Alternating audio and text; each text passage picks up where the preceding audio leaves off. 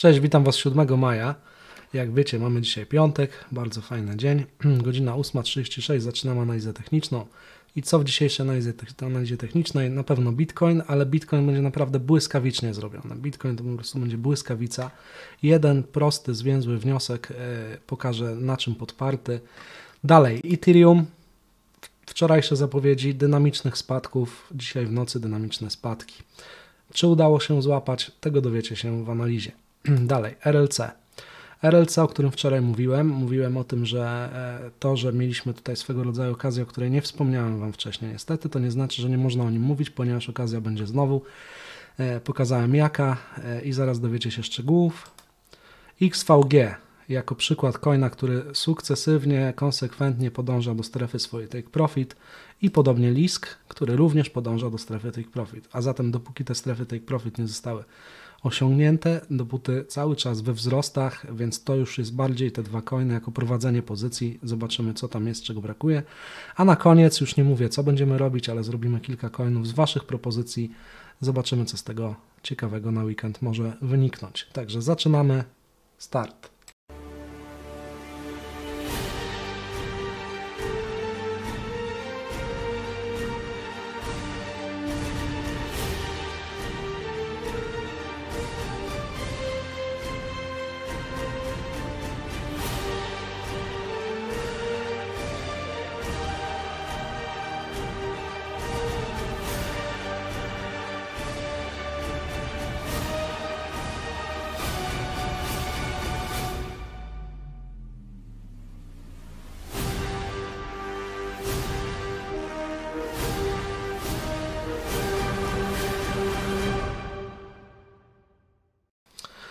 Bitcoinie jedyna rzecz, którą mogę zrobić, to moja strefa, czekajcie, wejdę na wyższy interwał 4-godzinowy, niech będzie 4 godziny.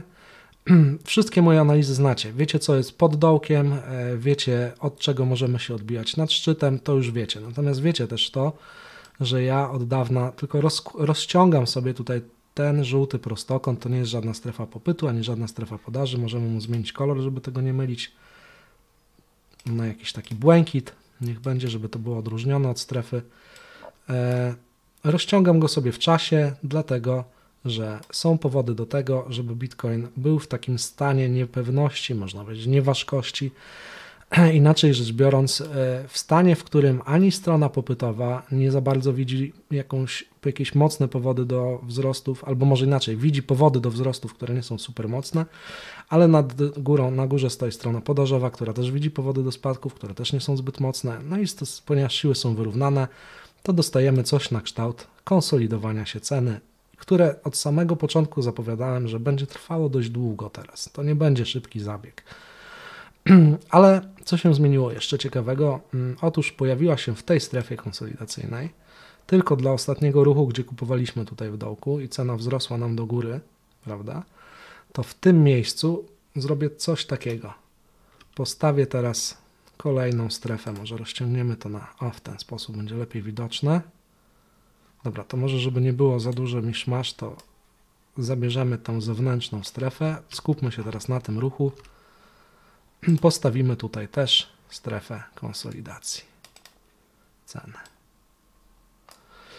Dlaczego tak? Ano dlatego, że zacznijmy od Forexów teraz. Zacznijmy od Forexów. Jeden Forex. Po pierwsze, obecnie nad naszymi wierzchołkami znajduje się luka cenowa, która jakby już zaczęła być domykana, ale ostatecznie nie została domknięta. Czyli tutaj część rynku ewidentnie chce podążać w tym kierunku. Poza tym tuż nad luką znajdują się linie poprzedniego trendu, które wymagają lub powiedzmy pożądają retestu. Także cena chce być wyciągana do góry, ale przeciwko temu mamy, zajrzyjmy teraz, zobaczcie na inny Forex. Brak luki, po pierwsze, brak luki, czyli już niektórzy brokerzy nie rejestrują tych luk. Po drugie, strefa podażowa, która była rysowana wcześniej przeze mnie tutaj niżej, w niższych poziomach na giełdach, akurat w przypadku rynku Forex znajduje się nieco wyżej, czyli tutaj, czyli zaliczoną strefę podażową, czyli powody do spadków. Przed chwilą pokazywałem Forex, gdzie mamy powody do wzrostów. Luka i magnes w postaci tej zielonej. Teraz pokazuję Wam też Forex, który daje powody do spadków. Czyli dwa zupełnie skrajnie inne scenariusze wynikające jakby z tej samej części rynku. Po pierwsze, po drugie, Zobaczcie. Teraz zmniejszyłem interwał na H4. Ta linia trendu, która przed chwilą była widoczna jako słabo akceptowalna, ma bardzo ładny retest od dołu, czyli ogień do góry. Zobaczcie, zobaczcie co się dzieje. Tylko wszedłem w Forex i już Wam pokazuję zupełnie skrajnie przeciwstawne do siebie kierunki i układy. Dobra, wyjdźmy teraz z tego Forexu, wróćmy tutaj.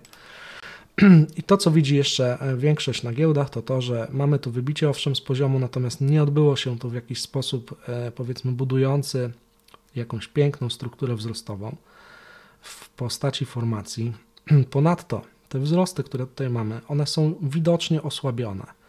Czyli e, trend, który się tutaj przedstawia, prezentuje, on zdecydowanie osłabł, natomiast korekty pokazują, że jakby spadki są coraz głębsze, czyli to kieruje cenę w dół, nawet ostatni wierzchołek jest głębszy. No i po co kieruje w dół? No przede wszystkim po to, po, o co mówiłem w ubiegłych, w ubiegłych analizach. Albo wracamy pod dołek, albo w najlepszym wydaniu pod ten dołek, bo tu się jeszcze pod tym dołkiem znajdą dwa powody do delikatnego odbicia. Gdyby te dwa powody zadziałały, o których mówiłem w ubiegłym tygodniu, ja nawet mogę Wam je teraz nanieść, jeżeli ktoś nie był, nie pamięta, czy nie w ubiegłym tygodniu, w ostatnich analizach, gdyby te dwa powody nie zadziałały, przepraszam, zadziałały, to jest jeden powód, znaczmy go kolorem niebieskim i kolorem niebieskim. Czyli okolice to jest akurat coin, bo jest 51 600 i 51 tysięcy. Jeżeli te dwa powody zadziałają, to wtedy zadziałają impulsowym wzrostem, to wtedy cała ta, struktura, cała ta struktura nabierze ładu, nabierze tego, czego ja Wam cały czas mówię, że szukam zawsze po odbiciu, czyli szukam w strukturach wewnętrznych czytelnego potwierdzenia, czytelnego układu dla rozwoju dalszych wzrostów i do, doty, dotychczas go nie dostałem. W związku z czym być może odbicie od tych linii mi to wykreuje, jeżeli mi to wykreuje, to rzeczywiście uznam, że ten buy już był, jest zamknięty i cena prawdopodobnie pod dołek nie wróci, E, to będzie bardzo, bardzo prawdopodobne. No ale zastanówmy się, jeżeli to się jeszcze nie wydarzyło, więc e, czekamy na rozwój ewentualnych spadków. Moim zdaniem, że tutaj słabnący trend, więcej jest mimo tego niezdecydowania, więcej jest powodów teraz do spadków, ale nie będzie tu żadnej dynamiki ani impulsowości. Zobaczcie, z wyższych struktur wynika konsolidacja, która jest podparta odpowiednimi argumentami. W strukturach wewnętrznych też mamy konsolidację, która również jest podparta odpowiednimi argumentami. No to czego możemy się spodziewać w Bitcoinie? Nudy. Najprościej rzecz biorąc, nudy. Oczywiście gdzieś ta cena będzie podążać zgodnie ze scenariuszem, powiedziałem jakim przed chwilą, ale e, nie będzie tu ani ognia moim zdaniem w dół jakiegoś specjalnego, a jeżeli będzie to taki z krótkim zasięgiem, czyli strzało 4-5 tysięcy dolarów nagły w dół, to właściwie chyba już na nikim nie robi wrażenia w tej chwili, czy w górę obojętnie. Na, ja nadal będę uważał to za brak zmienności dynamiki, tak. E, no i to chyba w Bitcoinie byłoby tyle. Także wiecie, czego się spodziewam. No jaki z tego wniosek? Wniosek z tego taki, że niestety albo stety ta dominacja Bitcoina, ja nie wiem, jak to może być teraz możliwe, bo powiem szczerze, że tak mocno wyciągnięty w dół wykres przy tak obniżonych wskaźnikach i nie zatrzymaniu się, nie, nie, nie jak zaakceptowaniu tych dwóch poziomów choćby na chwilę, no jest nieco jest nieco zastanawiający. Natomiast no jeżeli już te linie zostały przebite bez, e, bez żadnego zatrzymania, a po, po wcześniejsza strefa jedyne co spowodowała, to spowodowała niepewność, to był ten moment, czyli rynek na chwilę się zatrzymał, bo liczył na te wzrosty do strefy tutaj, albo do linii trendu, no to powiem szczerze, to już jest teraz tak zwane szaleństwo, szał i może się zatrzymać właściwie gdzie zechce, czyli jeżeli bierzemy pod uwagę, że Bitcoin jest w konsolidacji, altcoiny hulają, no to może będą hulały jeszcze głębiej, ale ale powiem szczerze, że inaczej, im głębszy i dynamiczny będzie ten dojazd, tym, tym silniejszy i dynamiczny będzie powrót. Taka musi być zasada, to już jest jakby naturalne i sprawdzone. Popatrzcie na wcześniejsze swingi. Im większa ta świeca, tym później większy powrót, prawda? Aż pod sam, po, praktycznie pod sam start tej świecy. Tak? Tak samo tu silny zjazd, potem trochę na to czekaliśmy, ale silny powrót. Także, także jeżeli teraz mamy do czynienia z takim właśnie szaleństwem, jakie było tutaj, no to później w sposób naturalny i tak tutaj wrócimy. No ale rzeczywiście miejsca do zatrzymania nie zadziałały, w związku z czym chyba trzeba się liczyć z tym, że rzeczywiście Za chwilę zobaczymy jeszcze niższe procenty w ramach tego szaleńczego spadku w dół. No właśnie, patrzę jeszcze jak to wyglądało RSI. Albo manipulacja, no nie, ale to raczej nie jest manipulacja, bo rzeczywiście widać, że altcoiny po prostu są w szaleństwie. To, że dzisiaj po prawej stronie u mnie tutaj czerwień dominuje, no to, to chyba prawda jest naturalna. Jeżeli wczoraj mieliśmy dwucyfrowe zielone wzrosty, no to jeżeli dzisiaj będziemy mieli jednocyfrowe czerwone spadki, to to jest zwykła po prostu naturalna korekta. E, ale nie wszystko spada. Zwróćcie uwagę, że spada to, co było przewidziane do spadków, czyli spada Ethereum Classic. Spadło dzisiaj, dzisiejszej nocy, prawda? Dzisiejszej nocy stało się to, o czym mówiłem wczoraj, że ta świeca zielona, potężna, ona musi być odreagowana. I ja osobiście mówiłem, że będę próbował złapać ten szczyt i przyznaję, nie udało mi się go złapać. Nie udało mi się go złapać, nie udało mi się złapać też tego, co się działo w trakcie tego swingu, dlatego że po prostu to się działo wszystko w nocy. Zaczęło się wczoraj wieczorem e, i niestety działo się praktycznie w nocy, także no nie zawsze można, ale było przewidziane, prawda? Był ten spadek przewidziany, także e, natomiast sam początek nie był, bo to nie była analiza na zasadzie mam miejsce, w którym cena powinna zadziałać, tylko to była analiza w stylu przyklejam nos do monitora, do ekranu i pilnuję każdej 15-minutowej świeczki w taki sposób, żeby zaobserwować, czy tu się pojawi sygnał. E, także ten sygnał przede wszystkim po pierwsze się nie pojawił czytelny, na tyle czytelny i tak czytelny, jakbym chciał. Ok, były miejsca do dołączenia tutaj, ale to była godzina 23. Ja już byłem nieaktywny po prostu. No. Trudno, tak się zdarza. E, no i tyle. I target minimalny został osiągnięty, czyli poziom, czyli może nie, dla mnie nie jest interesujący poziom, czyli te 119, tylko ten zjazd, proporcja tego zjazdu, a zatem poziom 382 całych wzrostów, on nie został, on został osiągnięty. Co to oznacza? Teraz przejdźmy do takiej analizy na przyszłość. Co to oznacza? Ano oznacza to tyle, że to, co minimalnie ten swing miał wykonać, wykonał. Oczywiście, czy może zrobić coś więcej? Może, ale niestety układ gorący, hot spadków dynamicznych ETC się zakończył i teraz, teraz to, co się będzie kreowało tutaj, no nie jest już gorącym układem, najprościej rzecz biorąc. W związku z czym ja sobie tu wyznaczyłem poziomy do, do wejścia nawet takie, trzy, one są widoczne na wykresie 140, 143, 145, a także stop loss dla tych poziomów, czyli 150, natomiast no, przyznaję, to już nie jest mocna analiza. Widzicie, tutaj jeżeli był strzał z tego poziomu, to można było to potraktować bardziej scalpingowo i zebrać z tego trochę procent. E, prawdopodobnie z któregoś z tych poziomów mogą się również strzały pojawić, ale nie ma gwarancji, że one pojadą jeszcze w dół niżej. Nie ma takiej gwarancji. To już jest taki handel bardziej na odreagowanie na zebranie punktów, ewentualnie jeżeli coś strzeli mocniej, to zredukowanie pozycji o 50%, czyli połowę zamykam, połowę trzymam do szczytu, zabezpieczam na break-even, no i takie tam różne. Jeżeli to się będzie dzisiaj w dzień działa, będę miał czas być przy komputerze, to z tego skorzystam. No i RLC. Dlaczego wspominałem, że co ja wczoraj powiedziałem? Że RLC, ok, okazja była w krótkim terminie, ale w długim terminie, uwaga, w długim terminie, jeżeli zostanie powtórzona ta czerwona korekta, no to RLC moim zdaniem jest do wzięcia i to już nie jest słaba analiza, to jest dość mocna analiza. W związku z czym no, nagrywam teraz akurat, no nie mogłem tego nagrać o 6, ale mówiłem Wam o tym wczoraj. Żółta strefa to jest strefa buy. Poziom czarny to jest zabezpieczenie stop loss. Jak widać, póki co strefa buy już zaczęła dobrze działać. Czy możemy się tymi wzrostami jakoś mocno ekscytować? Teraz zobaczymy.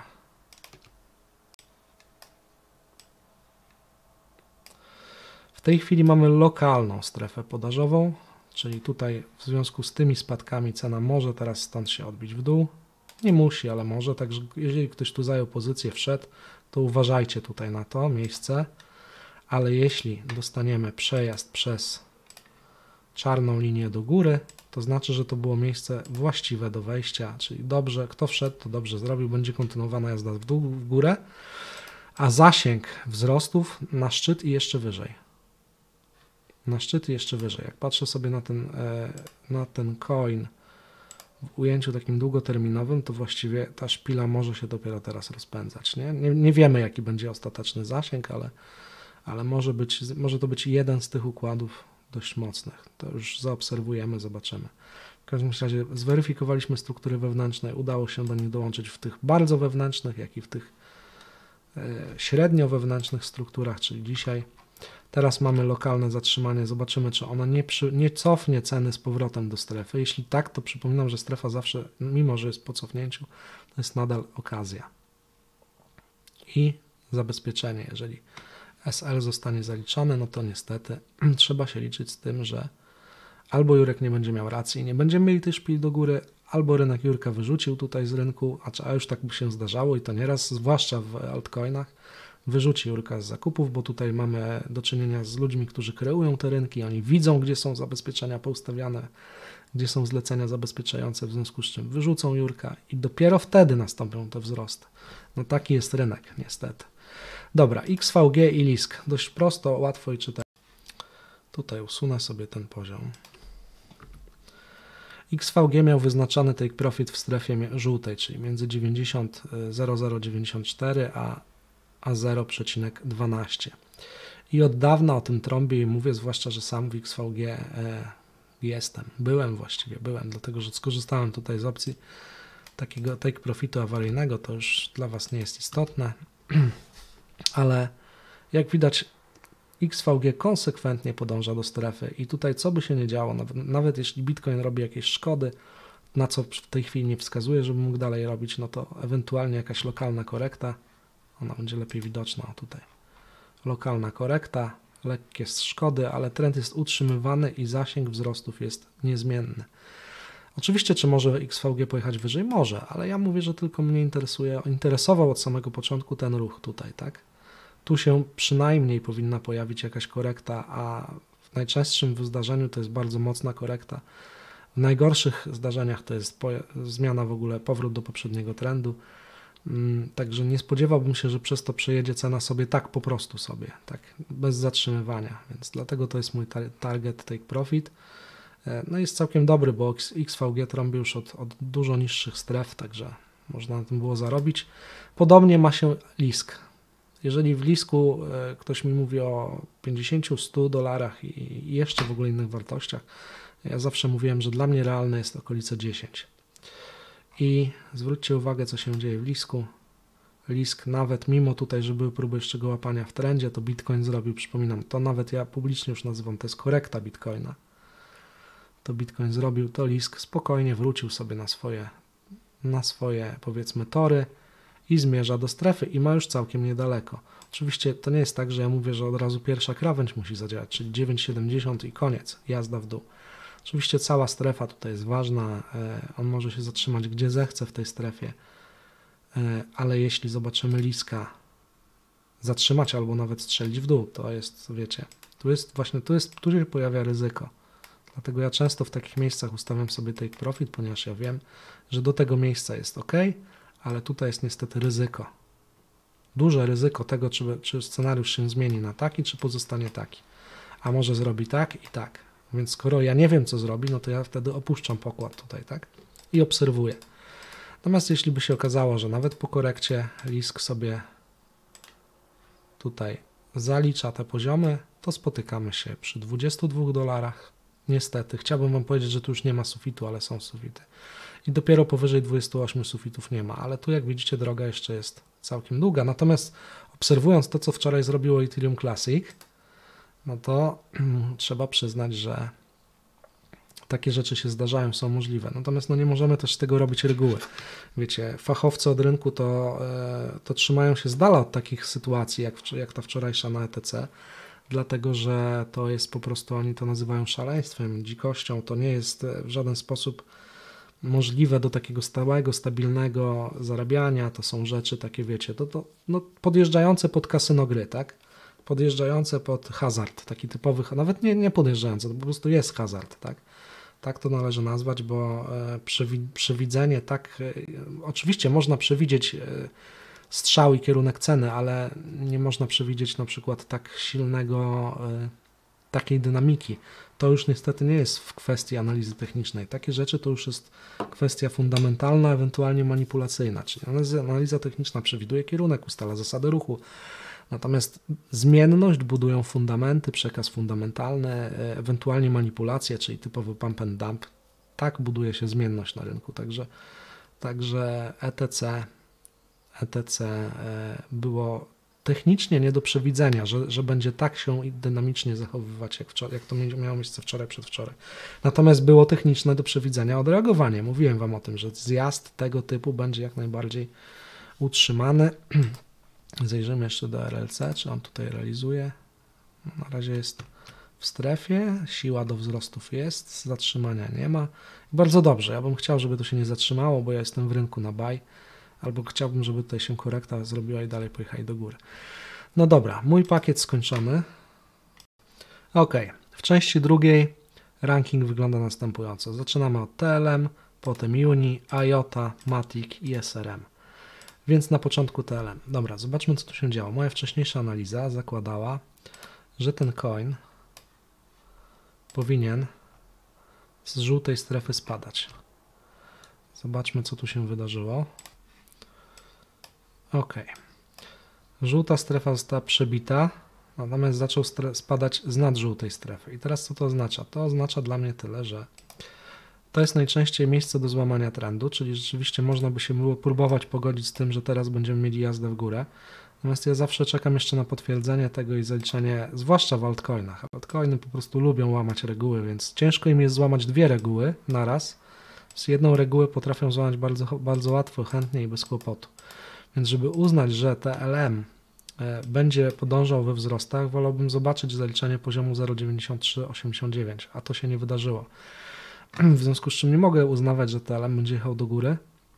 Natomiast po strukturach tutaj lokalnych widzę, że mieliśmy jeden trend, rozpoczął się drugi trend. Ten drugi trend, e, nawet ciężko go nazwać teraz korektą dla tych wzrostów, no bo tak mógłbym powiedzieć dopiero gdyby cena mi tu wyjechała wyżej, a nie zrobiła tego, w związku z czym on pozostaje w takim zawieszeniu, e, gdzie e, to nie tak, że mówię, że może górę, może dół. Po prostu dla mnie ani góra, ani dół jest to typowo taki obojętny koń, który pomijam, który nie ma dla mnie jasnych przesłanek do, żadnego z ruchów, wręcz gdybym miał to handlować, skupiłbym się cały czas tutaj na tych spadkach trwających i podążał za tym trendem tutaj w dół cały czas, aż do chwili, kiedy się skończy, a jeszcze się nie zakończył.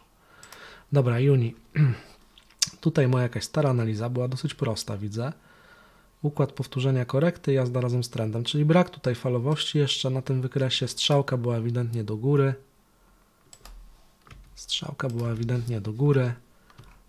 E, czy ta korekta, ona nawet nie została powtórzona. Dobra, poczekajcie, teraz dajcie mi teraz chwileczkę. Ok, wszystko jasne. Więc tak, oczywiście trend wzrostowy obowiązuje. Jeszcze obowiązuje.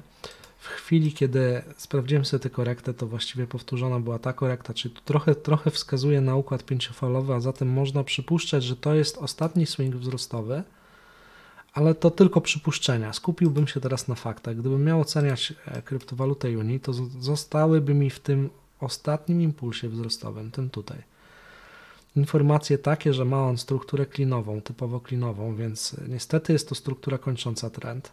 Czyli mamy tak, powiedzmy tak, jedna przewaga na spadki. Na to, że to już jest ostatni, może nie na spadki, żebyśmy dobrze zrozumieli, że to jest raczej ostatni ruch, czyli tu z tych struktur, które zaraz omówię, mamy przewagę do tego, że powinniśmy pojechać w dół. Teraz tak. E, ta pięciofalowość, tu poprzedzona, to też mówi o tym, że rzeczywiście jest to ostatnia fala, czyli mamy drugą przewagę na spadki. Na to, że to już się zaraz skończy, że nie spodziewamy się tu przyspieszenia trendu, tylko, tylko jego właściwie wykańczania już. A ostatecznie zostanie to stwierdzone przez te dwie struktury. Pierwsza to jest klin zwyżkujący, który widzicie tutaj, który tutaj dość e, widać, że ten klin jest mocno, mm, no jak to mówię, powiedzieć, ci sprytniejsi, e, tych mniej sprytnych. O właśnie. Oszuk, okrada, nie wiem, czekajcie, brakuje mi słowa. No coś z nimi robią złego. Ale e, Clean mimo wszystko będzie potwierdzeniem, czyli jak zobaczymy gdzieś tam w końcu ostatecznie te skuteczne przybicie, to powinno zostać one zaakceptowane, ale jeśli clean nie trzyma się, cena nie trzyma się w ryzach cleana, to zrobiłem coś, czego, co użyłam bardzo rzadko. Zbudowałem tutaj taki kanał cenowy, który jest oparty na podstawach i na wierzchołkach, na dołkach i wierzchołkach i ten kanał cenowy jest taką tolerancją dla tego klina, czyli rzeczywiście dopiero jeżeli tutaj się boimy uznawać wzrosty lub spadki, to tutaj powinniśmy już je uznawać e, bez kłopotu. Ja jestem przekonany o spadkach, tylko jeszcze nie wiem kiedy to będę, będzie widać to po wyłamaniu, tak? Ale tak mi to wszystko wskazuje. Natomiast pomyłkę swoją uznam dopiero, gdy cena znajdzie się powyżej czarnej e, linii krawędzi. Pomyłkę, czyli właściwie zmienię przekonanie i powiem OK, rzeczywiście jest szansa na wzrosty, silny wzrost dynamiczny po przebiciu, natomiast wtedy musiałbym musiałbym wtedy zobaczyć zamknięcie się przynajmniej świecy interwału dziennego powyżej czarnej linii. Ale, ale obserwacja tego, co tu się tworzy, raczej wskazuje na zawrócenie, niestety. Jeżeli ktoś liczy na mega wzrosty, to moim zdaniem zawrócenie. A tu macie, czy macie i analizę, co się może wydarzyć, w jakich proporcjach procentowych y, co do wartości, natomiast macie też moment do ustalenia potwierdzenia, kiedy to się może, czy to się dzieje, czy ewentualnie jest to zanegowywane. Dobra, IOTA. IOTA, zwróćcie uwagę, bardzo podobnie do e, TLM, czyli cena znalazła się trochę pod, po potwierdzeniu pierwszym, czyli jedynka jest zaliczona, ale dwójka jeszcze nie. I ta przestrzeń, brak tutaj to, co też Litecoin przez jakiś czas miał zrobione, ale Litecoin już się z tego wycofał. Czyli dopóki te dwa poziomy nie zostały zaliczone, ciężko było w Litecoinie szukać dynamiki. Po zaliczeniu obydwu dynamika się pojawiła. Zarówno w TLM, jak i w IOTA mamy podobną sytuację. Czyli IOTA również IOTA również hmm, dotarła do miejsca, które mogłoby świadczyć o tym, że ten długoterminowy trend spadkowy się łamie, ale jednocześnie nie zaliczyła drugiego, który zobaczcie jest bardzo blisko. Zabrakło naprawdę niewiele z 2,63 do 2,68 mniej więcej zabrakło, żeby już mówić o tym, co w Litecoinie, że od tego momentu wszystko, co w dół, to korekta, więc biorę w ciemno. A teraz nie mogę tego powiedzieć w IOTie. Bo może być tak, że IOTA będzie sobie grzecznie teraz podążać gdzieś tutaj w tych okolicach, czyli nie wiem, konsolidować się, załóżmy, aż do czasu, kiedy e, tak długo będzie to się działo, aż wszystkie coiny powiedzmy stracą już zapał do wzrostów i zaczną spadki, wtedy IOTA zacznie razem z nimi. To jest jeden z możliwych scenariuszy. No może być też taki, że w końcu zrobi to co Litecoin, czyli którymś swingiem zaliczy to i od tego momentu mm, ja sobie czekam grzecznie na korektę, jak ta przyjdzie, to pojedziemy do góry razem z trendem. Przypomnę tylko, bo dziś nie jest czas na analizę Litecoina, że to wyglądało tak. Zaliczenie, korekta, można wsiadać, jedziemy do góry. Dopiero dynamika, zobaczcie, zwróćcie uwagę na wysokość tych świec, że dopiero ta świeca jest potężnym ruchem, takim najpotężniejszym w całym układzie. Dlaczego? Bo się Litecoin określił, że już nie wspomnę o tych wcześniejszych, tak? Bo się Litecoin określił i zobaczcie, że ETC strzeliło w dół, a Litecoin nawet praktycznie nie drgnął, nie? Stoi w miejscu, jak, jak zamurowane. Dlaczego? Bo się Litecoin określił. Nie będę już powtarzał 10 razy. Wracamy do, e, no więc chyba o IOCie więcej nie będę się wypowiadał. A zatem Matic, który to Matic, co my tu mieliśmy? Trójkąt 3 do 1 na wzrosty. No i mamy wzrosty, tak było ostatnio przynajmniej. Tak było przynajmniej ostatnio. Zobaczmy teraz, co się dzieje. Co tu się dzieje? Tu był trójkąt. Powiedziałem, że mieliśmy krawędź, trójkąt zwyżkujący. Proszę bardzo, i nie zadziałał. Ok, ale zobaczcie. Zadziałał. Zobaczcie, że ostatnia struktura, którą rysowałem, to był trójkąt zwyżkujący tutaj. I e, żadna ze świec w interwale, już nie mówię dziennym, 4-godzinowym, nie zatrzymała się powyżej krawędzi trójkąta. Żadna. Czyli to, co ja zawsze mówię, że przebicie musi być skuteczne. Dopiero skuteczne przebicie, czyli zamknięcie się świecy powyżej, działa na wzrosty, a tu żadna. Raz, dwa, trzy, cztery, pięć. Wszystkie sprowadzone pod trójkąt. Potem powrót do tej linii, retest i jazda w dół w Matic. Ok, tak było, bo tyle czasu tu nie zaglądałem. Teraz nam to już tu jest właściwie niepotrzebne.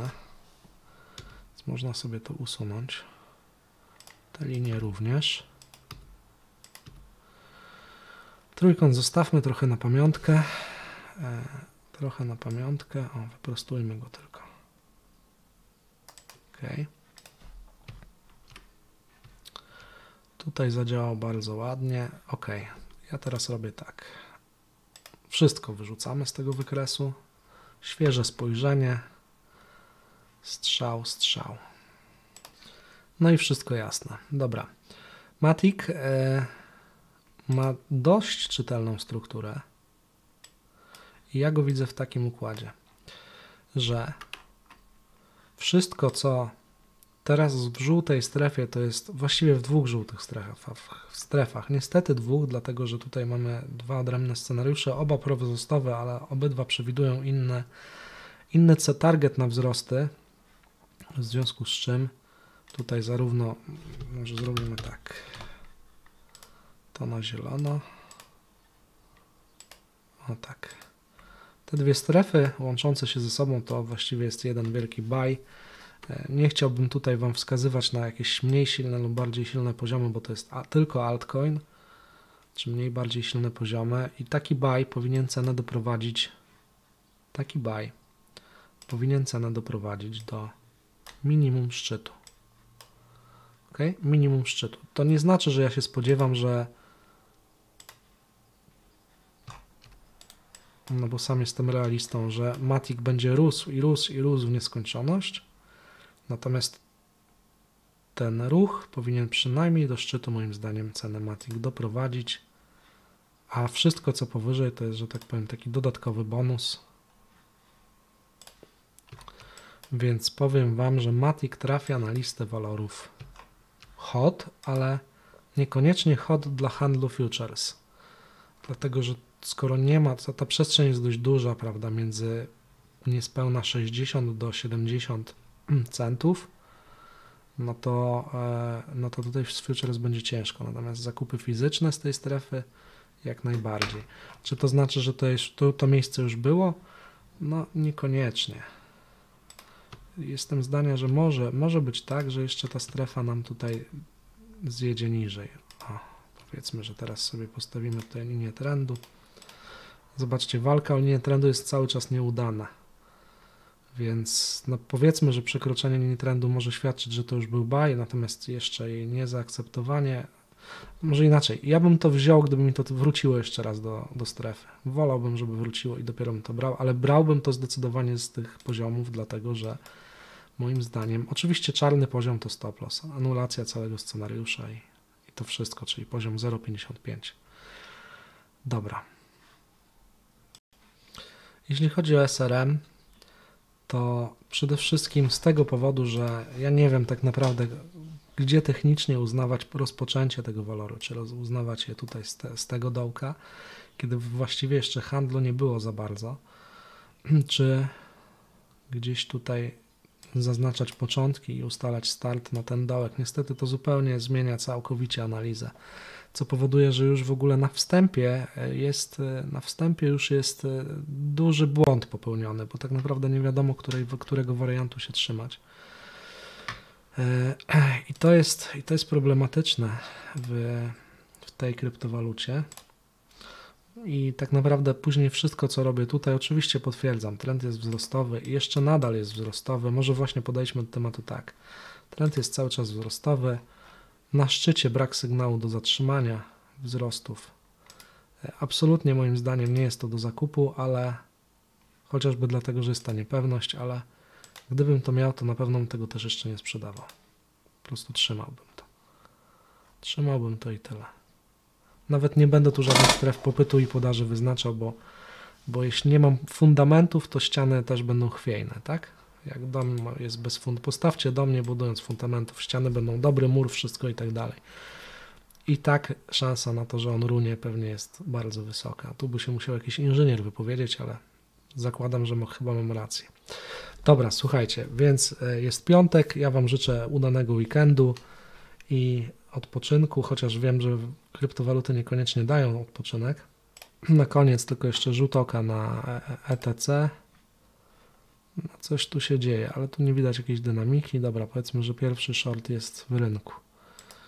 RLC, widzicie, zatrzymało się w tej lokalnej strefie i stoi. I zobaczymy teraz, czy wygrają ci, którzy ciągnęli cenę w dół, to stąd, czy ci, którzy stąd ciągnęli cenę do góry. Oczywiście ci, którzy stąd ciągnęli cenę do góry są silniejsi, ale może okaże się, że wystartują z niższych poziomów, co byłoby dobre pewnie dla Was, bo akurat jeśli ja teraz nagrywam ten film i zanim go obrobię i opublikuję, to taki powrót do strefy byłby dla Was pewnie korzystniejszy. Gdyby ktoś chciał powtarzać, oczywiście nie sugeruję, nie zalecam, to wszystko jest tylko i wyłącznie mój handel i nic co mówię nie stanowi dla Was porady.